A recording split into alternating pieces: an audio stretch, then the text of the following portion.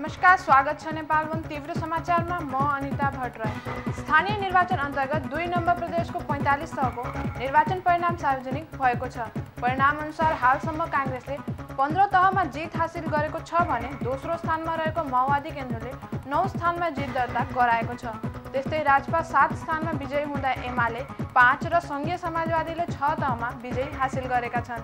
लोकतान्त्रिक फोरमले दुई तह जित्दा नेपाली जनता दलले एक तह जितेर खाता खोलेको छ।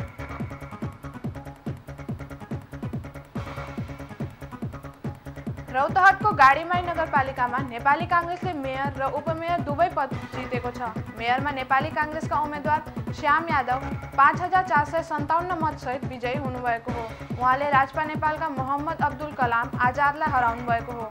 आजादले पाँच हजार छप्पन्न मत प्राप्त गर्नुभयो। त्यस्तै उपमेयर पदमा विजयी नेपाली काङ्ग्रेसकै उम्मेद्वार सुभद्रा यादवले पाँच हजार पाँच सय एकतालिस मत प्राप्त गर्नुभयो। उहाँको निकटतम प्रतिद्वंदी राजपा नेपाल की उम्मीदवार पुनकली देवी तीन हज़ार नौ सय तेत्तिस मत प्राप्त गर्नुभयो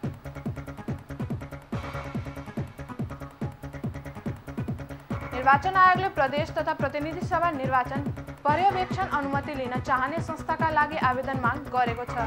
आयोगले यसअघि पहिलो पटक आयोगले साउन छ गते आवेदन माग गरेको थियो। शुक्रबार पुनः दोस्रो पटक सूचना प्रकाशित गरी पर्यवेक्षक आह्वान गरेको हो। निर्वाचन अनुगमन गर्न चाहने व्यक्ति तथा संस्थाले सूचना प्रकाशन भएको पन्ध्र दिनभित्र अनुमति लिनुपर्ने निर्वाचन आयोगले जनाएको छ। आवेदकले संस्थाको हकमा दर्ता प्रतिलिपि पेश गर्नुपर्नेछ यस्तै संस्थाको विधानको प्रतिलिपि पनि पेश गर्नुपर्नेछ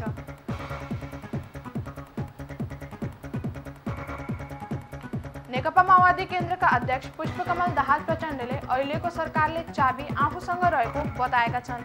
कपिल वस्तुको कृष्णनगरमा बिहिबार आयोजित जनसभा तथा पार्टी प्रवेश कार्यक्रमलाई सम्बोधन गर्दै प्रचण्डले शेरबहादुर देउवा नेतृत्वको सरकारको भविष्य पनि माओवादी केन्द्रकै हातमा रहेको बताए। माओवादी केन्द्रको लामो समयको सङ्घर्षले संविधान सभाबाट संविधान प्राप्त भएको भन्दै उनले त्यसको कार्यान्वयनमा पनि आफैहरूले नै सबैभन्दा धेरै भूमिका खेलेको बताए।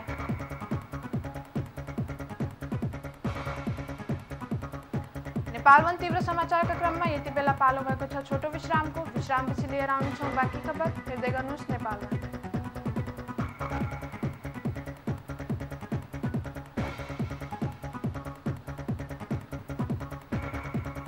विश्रामपछि पुनः स्वागत छ नेपालवन तीव्र समाचार डियागो कोस्टा आफ्नो पुरानो क्लब एथलेटिको मड्रिड जाने भएका छन् स्ट्राइकर कोस्टाको स्पेनिस क्लब एथलेटिको मड्रिड अनुबन्धका सम्बन्धमा चेल्सी सहमत भएको हो कोस्टोको अनुबन्ध आउँदा जनवरीमा हुनेछ दुई क्लब बिचको अनुबन्धका सम्बन्धमा सहमति जुटेको र अब व्यक्तिगत कुरा तथा मेडिकल मात्रै बाँकी रहेको छ अठाइस वर्ष कोस्टा सन् दुई हजार चौधमा तिन करोड बिस लाख पाउन्डमा एथलेटिको मड्रिडबाट चेल्सी आएका थिए।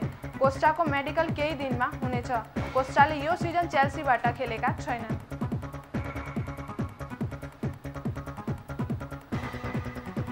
हस्त नेपालवन तीव्र समाचार अहिलेलाई यहीँ सकिन्छ। प्रत्येक घन्टाका बुलेटिनका साथमा फेरि उपस्थित हुनेछौँ। हेर्दै गर्नुहोस् नेपाल